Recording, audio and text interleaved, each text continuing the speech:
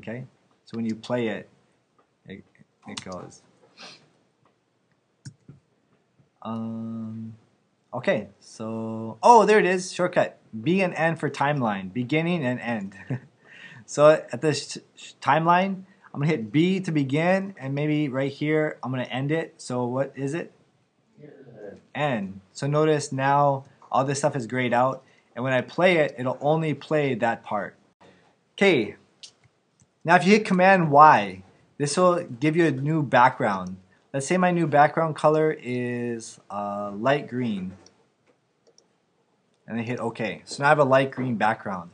If you don't remember that shortcut, you can also hit Control click on the composition area and then go to New and then Solid. Okay. Now there's three things that you need to do uh, in this tutorial, it, eh, like to experiment with. One is the solid, one is a text, and one is a shape layer. And I'm going to just choose a shape layer for now to show you guys how to do this. So I'm going to do a snowman. So I'm going to do click here for one, and it's not going to be black. See the top fill? By the way, isn't it cool that you can like make your designs? Remember I said that Illustrator is kind of like Illustrator plus like Premiere or a video uh, making software program plus Flash combined together. So it's a very useful tool. So there's a lot of like familiar Illustrator functions in here. So I can double click fill and let's say I want this guy to be like light orange.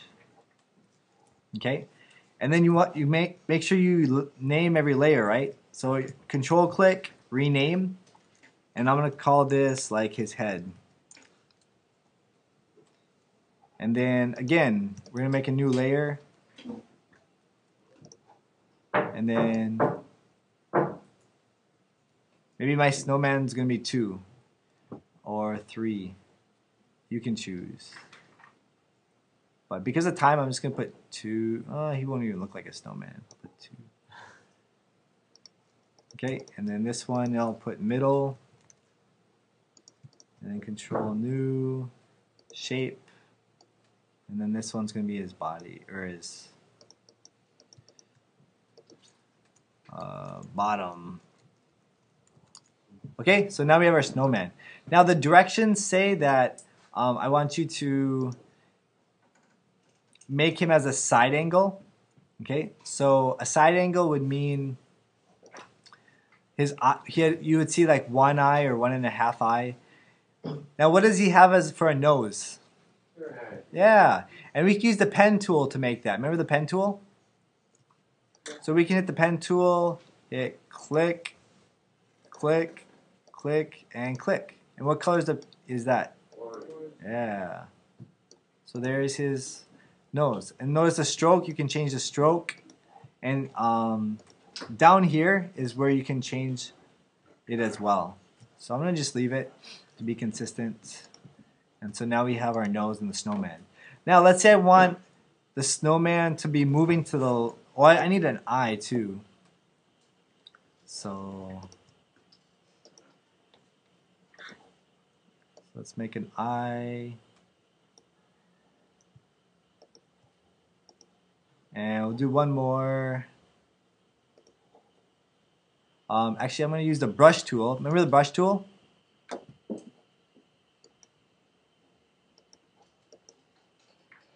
And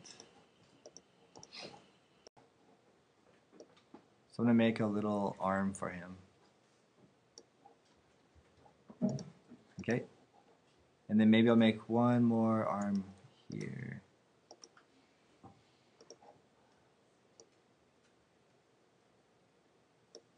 Okay? And so maybe later I would make like a hat for him or something. Like he could take off his hat or he could be doing something with his arm or hand. Um, that's up to you what you want to choose. So let's say I want to move this guy. Now it would be very tedious to like select each layer and to, to make the changes to have him move across the screen. So instead I would select all of the layers except the background layer and then I would click on what to move P for position.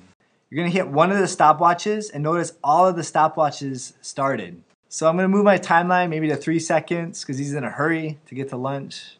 Move him off the screen and ta-da, we're done. So now if I scrub back and hit pause, our snowman will move off the screen like that. Um, what, what you can do is you can select, notice how I'm selecting.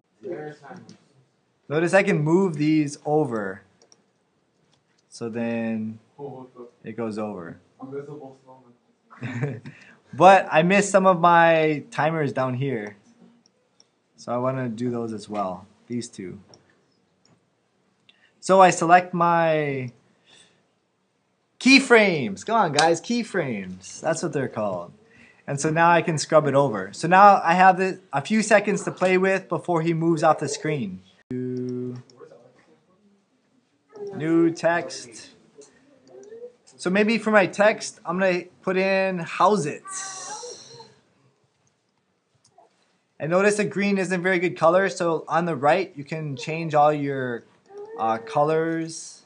I'm to change that to maybe to black. Okay, I'm going to use my selection tool. Maybe I can use a speech bubble to say how's it. And let's say I want my how's it to like um, appear, you know, as it goes. So if I want it to appear, what would I use? Which opacity. So hit O. So I would start that out at zero, right? Opacity.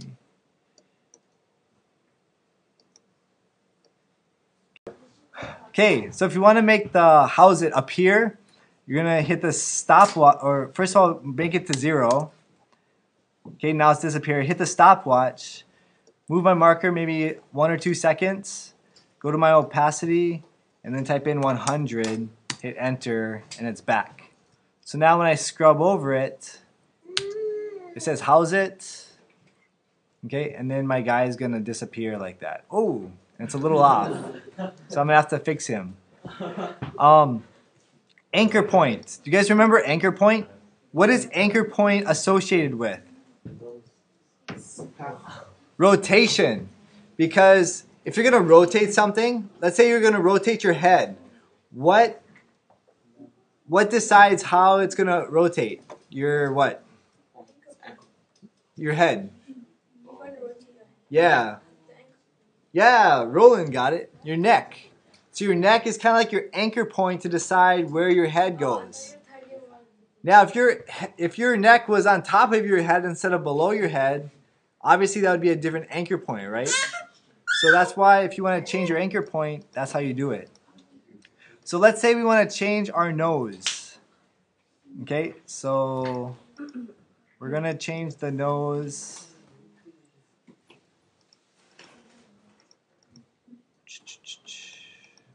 There's our nose.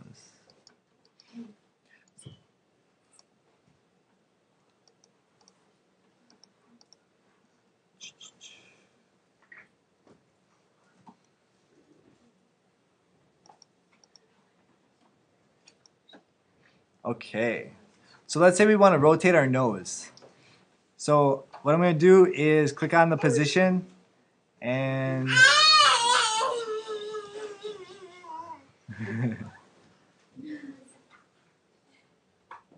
and what is anchor point? A, right?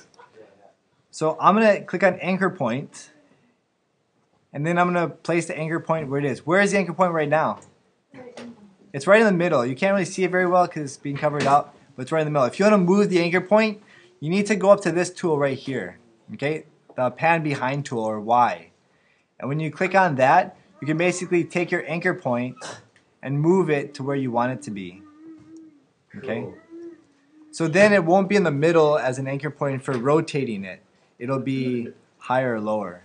So now if you look, notice it moved. See the nose? See the nose moving along the anchor point? And now it's going across. The other, the other word, the body. Yeah, and the bottom circle moved with it. Why? I made a mistake. Yeah, I made the nose in the same layer as the bottom. And that's why it followed the bottom. so learn from my mistake. Make sure you put them in separate layers and don't and make sure you name them.